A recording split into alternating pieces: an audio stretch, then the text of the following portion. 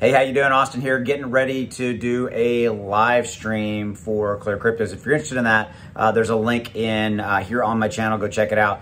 But beyond that, I wanted to talk to you real quickly about the fact that the crypto market is coming back. Things are moving back in the right direction, and uh, this is really an interesting turn of events. And this is something that I kind of thought would happen. I talked about it in videos, and I talked about the fact that when we got the Federal Reserve decision yesterday that the crypto market would move down, it did because we got the 75 basis points raise that we were expecting. Now, we got from Chairman Powell in his speech that he gave at approximately 2.30 East Coast uh, time yesterday. We got a lot of uncertainty from him, all related to the future interest rate hikes coming from the Fed. And he didn't give us any really strong indication of what they were going to do coming up in December. On December 14th, the Federal Reserve is, is going to be announcing a new, you know, their next uh, interest rate hike. And he didn't give us a lot of clarification on that. So we may, we were looking to get pretty strong indicators that maybe that and that rate high coming in December. Again, this is the the, Fed, the Federal Reserve doing what it can to try to combat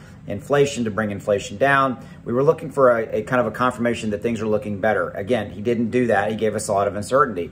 And so what happened yesterday was the crypto moved down, moved into the negative, and then for the most part of most of today, it hasn't really done a lot, but we've actually just moved back in the last couple of hours, moved back up. Bitcoin, Ethereum moving back into the positive one, two plus percent. Dogecoin moving up like 2.5 plus percent. The others uh, pretty much everything across the board getting a nice uh, bounce back up. So I think fundamentally what we're seeing here is the crypto market effectively shaking off the Federal Reserve decision. Again, we were expecting a 75 basis point raise. We got that.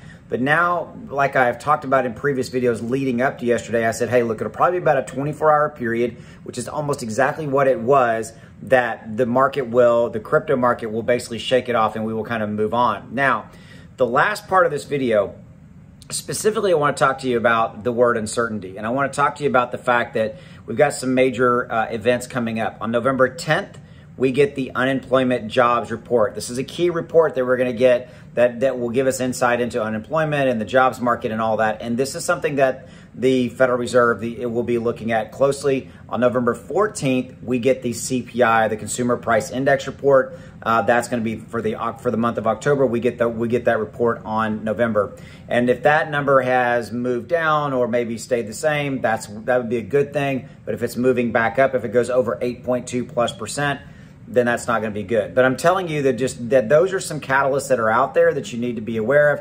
Oh, and by the way, we've got elections this month in November. So we got a lot of potentially kind of tumultuous, good word of the day, catalyst for you going on there. But I just want to give you an insight, let you know that's kind of what I'm seeing. That's where we're at. So right now, crypto is doing what I thought. It's lifting back up.